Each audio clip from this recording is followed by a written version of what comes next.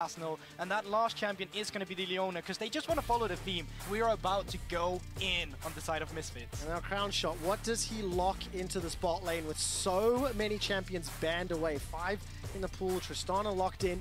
And I think um, the combination of that hijack equalizer plus the Glacial Fizzer, Fissure that can come down from Labrov, can be devastating.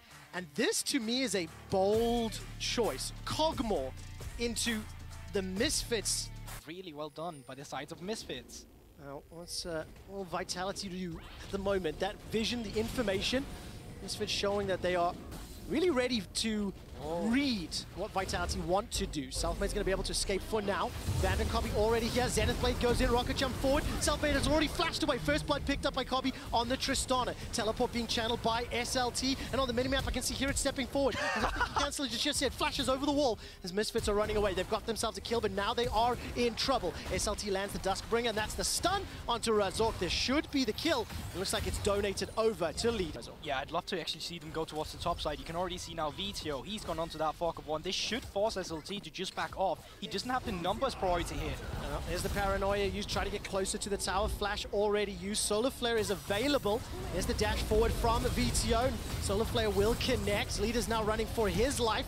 Selfmade makes his way into the fight. Vander takes a number of turret shots down to 200. Selfmade flashes forward, chases out, doesn't get enough damage for the kill. Now Selfmade's in trouble. He gets caught out, bobbed backwards by HiRit. Forced to dash away and the tower is doing a lot of work. There's enough time for Labrov to arrive. As he can get closer to Selfmade and shows a lot of the experience on that pick. And Equalizer comes out to SLT. So much damage from right. and the heal is enough to save him. Gigantic health uh, bonus there from the Dominus. Go for this. Yeah, you can already see Vetheo now got level 11, is recalling now probably for that Rift Maker, but there's no good teleport ward, so I think they're going to disrupt the push, and then they're just going to go for the reset themselves inside of Vitality or try to go in and clear some vision.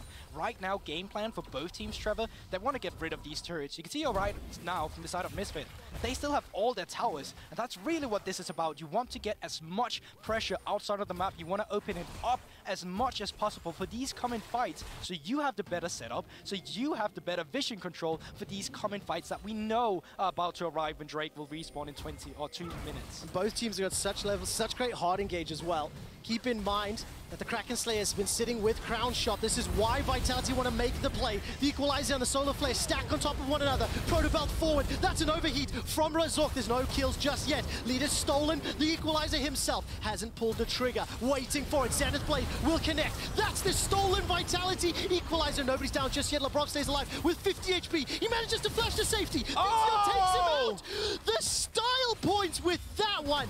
Every single member's in the bottom lane. The fight isn't over just yet. HiRit will slice and dice his way forward. A flash forward from Razork. He's overheating and punching Vitality in the face. That's one back, but two more for Misfits. They come out on top. Out this game. This 5,000, potentially Dragon number three is this the fight they have to win, Guldborg? Yeah, they're definitely going for it here, and so is Van. They're starting up the fight. Oh, Equalizer comes out. Leader hasn't hijacked anything just yet. Manages to find the perfect execution, and SLT jumps into the back line, but it's not enough. He loses his life in a trade for Vander. Support for top laner is everything Misfits wanted. They get the fight, they get two kills, and now they can look for the Dragon. The extra Drake, if you could get a third item onto Crownshot, it would be absolutely pivotal, but you can see Vitality, they're not feeling that. They're still feeling that they can get the upper hand should a fight break out. That's huge. Stolen equalizer.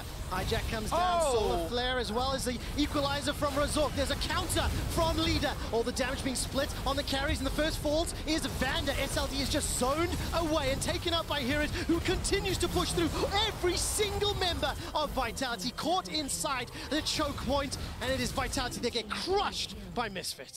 Would need to happen Engage onto Vander. He's been the sacrificial support all game long. Misfits have cleaned up every single time. The equalizer across the entirety of Vitality. Solar Flare will become available in just a moment for Vander as Leader fires out the stolen one. Labrov is down. Vitality are running for their lives, but you cannot outrun Vetheo. You cannot outrun Kobbe.